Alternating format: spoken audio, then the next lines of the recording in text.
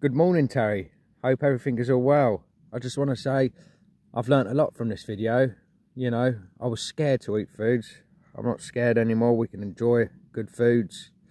Um, even with you, the, the, last six weeks, I've lost a tremendous lot of weight. Um, I'm very grateful for you because uh, you've guided me.